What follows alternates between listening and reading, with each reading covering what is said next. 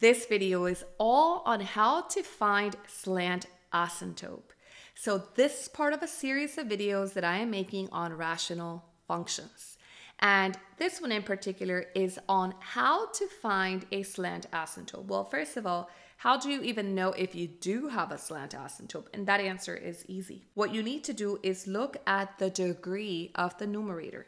By degree, it's the highest power, which in this case, the degree of the numerator is 2 and I'm going to compare it to the degree of the denominator, which in this case, I don't see one, so it is 1.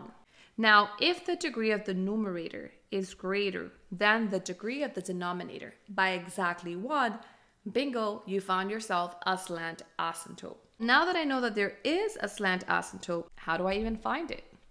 Well, what you're going to do is use long division. Yes, I know. I do have a video on long division in case you need a refresher or you have forgotten. So the way I'm going to do this is that I'm going to write inside of my division sign 3x squared minus 2x plus 1 and I'm dividing that by x minus 1. When you go to do long division, you got to make sure that you have every power accounted for in descending order. And if not, you would have to put a placeholder. In this case, I do luckily have everything in descending order and I don't need a placeholder because I have something to the second power, to the first power, to no power. So then I start by looking at x, just the x, and I compare x to 3x squared.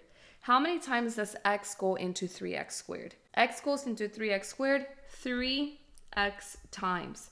And notice that I line up my answer on top of where I have an x by itself. So now I'm going to distribute 3x times x 3x squared. 3x times negative 1, negative 3x. So now I draw a line. I change these signs because I'm subtracting. These cancel. Negative 2, positive 3 is positive 1x. Bring down the positive 1. I do this again. x goes into x, positive 1 times. Distribute. 1 times x is x. 1 times negative 1 is negative 1. Draw a line change the signs, cancel, my remainder is 2. But right now, for this problem, I don't really care what the remainder is. So what I was able to find is the equation for the slant asymptote. And the equation is y equals 3x plus 1, where m is the slope, 3 over 1, and 1 is going to be the y-intercept.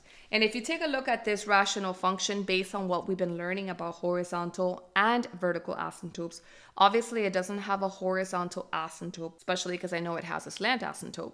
But it does have a vertical asymptote when the denominator is equal to zero and the vertical asymptote is x is equal to one. So let's go ahead and see what this looks like on a graph. If I were to go ahead and create my coordinate plane, I'm going to try to figure out what this graph is going to look like. I'm going to start by including both my vertical asymptote, which if you remember, the vertical asymptote is whatever makes the denominator equal to zero, and my slant asymptote, which we just found, y equals 3x plus 1, by doing long division. So my slant asymptote is y equals 3x plus 1. So the vertical asymptote, x equals 1, goes right here. For my slant asymptote, the y-intercept is 1. You put a point at 1. And then my slope is 3 over 1. So from here, I'm going to go up 3, 1, 2, 3, and over 1. And I can do that again going down, 1, 2, 3, left 1. So here is my slant asymptote. I feel like I should have done this a little bit bigger. And now my job is to figure out what is happening with the graph. The graph is either going to open something like this along that slant asymptote, same thing here, or it's possible that it's going to open inside somehow of those two dotted lines. The only way that I'm going to be able to tell what's happening is that I have to choose points around my vertical asymptote. My vertical asymptote is at x equals 1. So let's find out what happens when the graph is, let's say, 0. If I plug in 0, I'm going to end up with 1 over negative 1, which is negative 1. So at 0, I'm at negative 1. This is kind of indication to me that the graph is going to open something like this.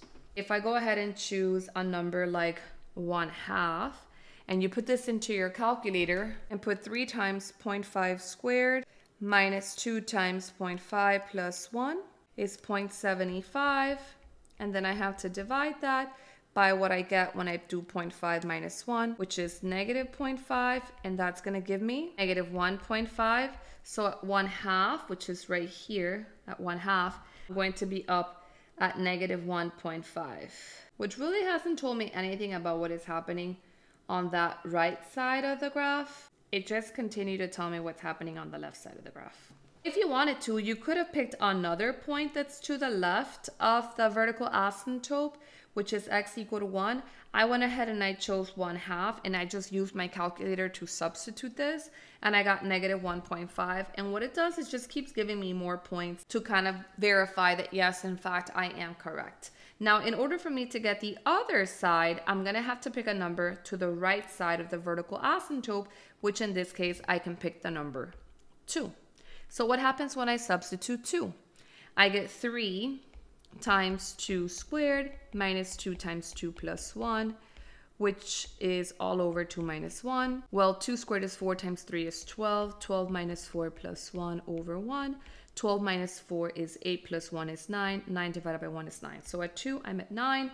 So 1, 2, 3, 4, 5, 6, 7, 8, 9. Obviously, I did not make my graph wide enough. So this right here is a much prettier picture than the one that I did for you so that you can see exactly what this graph looks like when you have a slant asymptote and a vertical asymptote. I hope you found this video helpful. Remember to subscribe to my channel for more help with math so that you can say, yes, I can do math with confidence. Until next time, thanks for watching.